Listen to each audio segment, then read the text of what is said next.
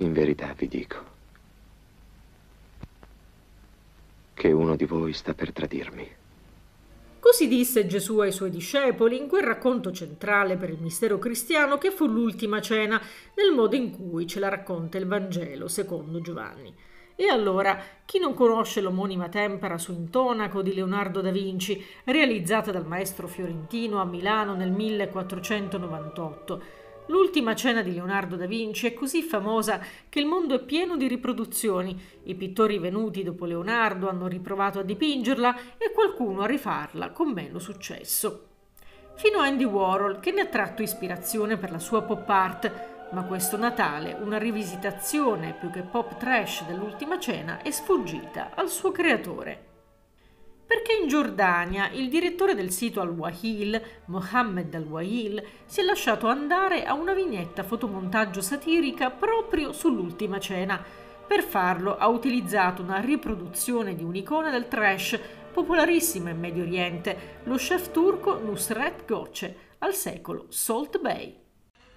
Salt Bay, che oggi possiede 5 ristoranti di carne tra la Turchia e gli Emirati e che presto ne aprirà altri a Londra e New York, non parla mai, ma compare su YouTube, su Instagram e su tutti i canali social più popolari, brandendo pezzi di carne, sbattendo capre, cosce di vacca e polli macellati sui tavolacci del suo laboratorio. Quando inizia a tagliare i quarti di bue, ci mette gestualità teatrale, sensualità e ironia, anche se si prende molto sul serio al punto tale da essersi inventato un segno che è un po' la sua firma di riconoscimento il lancio del sale con una sola mano sulla carne da lui preparata, un gesto che ormai tutti citano e imitano, dai calciatori ai presentatori dei live show negli Stati Uniti.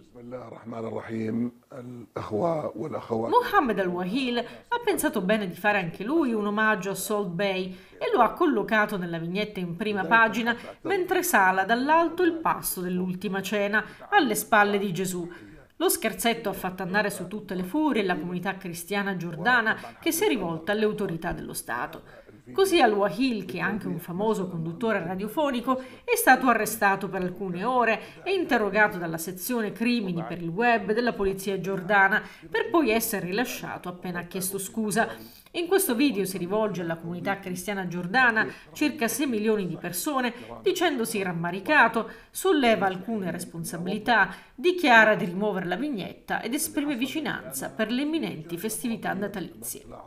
Alla fine gli è andata bene, perché rischierebbe dai 3 ai 6 anni di reclusione, con buona pace dello chef Salt Bay, suo malgrado coinvolto, anche perché nella vicenda è intervenuto il vescovo vicario per i cattolici latini in Giordania, William Hanna Shomali, che, pur condannando la vignetta, ha invocato clemenza per il suo autore, senza accanimento, per non inesprire gli animi. Resta da registrare quanto l'ultima cena sia fonte di ispirazione per parodie irriverenti, dal collettivo giovanile Ovo al gruppo pop Hold Your Horses, è tutto un fiorire di creazioni sul tema.